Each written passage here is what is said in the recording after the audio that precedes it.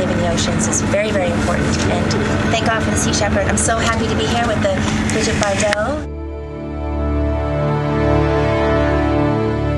And no one's going to stop the Sea Shepherd. If the oceans die, we die.